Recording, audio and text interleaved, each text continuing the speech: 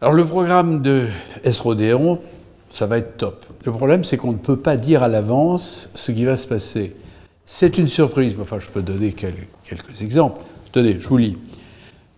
Est-ce qu'on peut redonner l'espoir de marcher à des paraplégiques?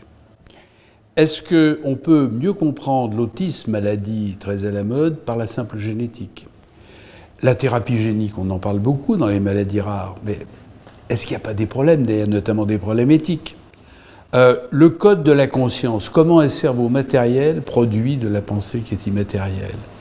Euh, la santé connectée, on en parle partout. Est-ce que vraiment c'est un avenir en médecine? Jusqu'où peut-on automatiser la médecine? Quelle est la place du médecin généraliste, etc. Voilà quelques exemples de S3 Odéon, ça va être formidable.